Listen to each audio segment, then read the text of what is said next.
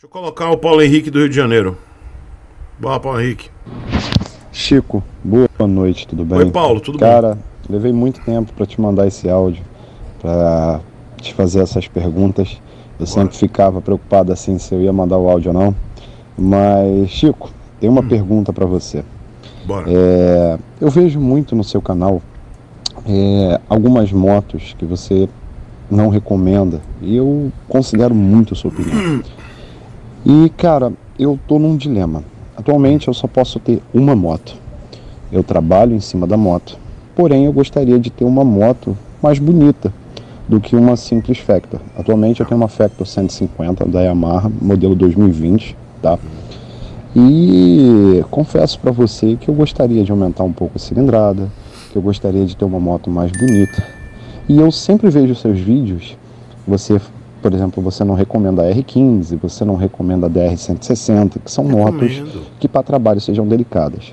Mas aí eu te pergunto, Chico, o que, seria um meio termo? Uma moto que esteja de passeio, que eu também possa usar para viajar, porque de vez em quando eu vou a Petrópolis, eu também dou um pulo na região dos lagos, e uma moto que eu possa usar também no trabalho, que seja o conjunto delas.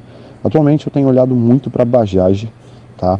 É, de acordo lá com que você falou uma vez num vídeo e que parece que o Bill também disse, tá para vir aí a Bajaj 250 cilindradas. E eu tenho pensado nisso, ou então trocar para Lander 250. Porém, a Lander atualmente tem dado tanto problema na mão das pessoas que eu fiquei com receio de continuar na Yamaha e de repente investir nessa nova marca, né, a Bajaj, pois eu não gosto das motos da Honda, não gosto da moto, não gosto mais das motos da Yamaha e eu fico nessa dilema. E aí, Chico, eu te pergunto, qual. Desculpa, Chico, recebi uma ligação no meio do áudio, mas a pergunta que não quer calar, Chico, qual é a moto que você me recomenda dentro desses padrões que eu te falei? Uma moto para trabalho e uma moto também para passeio, para viagem, que seja uma moto para tudo, porque eu confesso que eu estou cansado das 150 cilindradas. Eu sei que elas são mais econômicas, eu sei que as peças delas vão ser mais baratas. Sim. Mas gastar um pouco mais para passar a ter a, a mescla das duas seria algo muito bom. Chico, deixa aqui meu agradecimento ao seu canal. Seu canal é incrível, você é um cara Beijo. super gente boa. Você fala o que tem que ser falado e não importa o que, o que aconteça. Que você continue sempre assim com esse trabalho maravilhoso Obrigado, que você Paulo. sempre nos proporciona. Um fortíssimo abraço Falou. Um beijo, tem mais. Ah, seu Chico, eu também esqueci de falar. Eu também estava pensando na Dominar 400, mas eu acho que eu ia subir muito, ia ser prejudicial. Então, Chico, eu saio do trabalho normalmente uma hora da manhã, então quando eu chego, suas lives já estão terminadas. Eu sempre assisto a retrospectiva, né, que você deixa. Então, é, se tiver como me avisar no dia que for a live, que aí eu tento entrar no trabalho, no dia que você for responder minha pergunta, e aí eu tenta entrar no trabalho lá para poder assistir. Tá bom? Forte abraço. Ó, mandei resposta aqui para você, Paulo, que eu respondi agora, tá? São uma e um da madrugada. E um beijo para você, obrigado pelo carinho. Vamos lá. As Bajaj eu não tô recomendando para quem precisa trabalhar. Tá? Você diz que trabalha sobre duas rodas. Eu não entendi se você trabalha com aplicativo, ou se você se desloca. Eu vou, eu vou usar as duas possibilidades. Se você só se desloca para o trabalho, a Dominar 400 é uma boa, velho.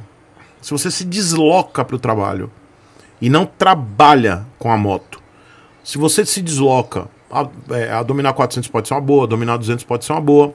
Show de bola.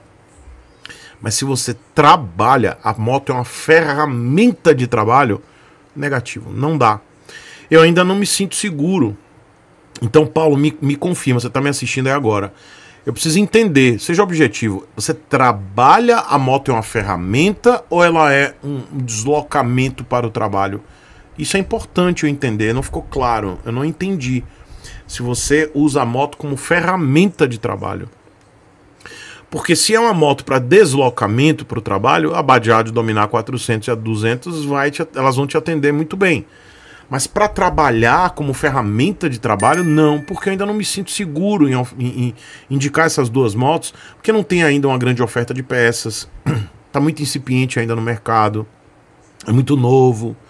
Então eu não estou indicando nenhuma das motos, nem a 160, nem a 200, nem a 400. 400 não dá para trabalhar. Tá? É, 200 e a 160 eu não estou recomendando para trabalho. Agora, se você trabalha, a moto é uma ferramenta de trabalho, ou seja, você usa a moto para trabalhar mesmo, uma ferramenta de trabalho. É Lander, fi. FZ25 Lander, porque você pega a rodovia, você roda na cidade, você vai elevar um pouco o custo de manutenção de uma 150, mas você vai ter aí uma moto para usar na rodovia devagar e sempre, uma Lander, e um FZ25 também devagar e sempre na rodovia, mas você vai. Ah, tio Chico, mas você tem sido um crítico feroz a Yamaha, por causa do acabamento, da pouca. É, da, do pouco respeito que a marca tem com seus clientes. É verdade, mas eu também sempre deixei claro que eu continuo indicando porque o produto é bom. É, é o que eu falei lá no último vídeo. É aquele restaurante é, sujo, sabe? Sujo, que o prato é vagabundo, o talher é vagabundo, mas a comida é boa. Né? A Yamaha é isso. É um restaurante uma espelunca, mas a comida é boa. Então eu ainda continuo indicando. Isso não é uma contradição. É porque é o que tem para hoje. Entendeu? É o que tem para hoje. Então, Lander é uma moto é, consistente. FZ25 é uma moto consistente, mesmo, mesmo powertrain, motor.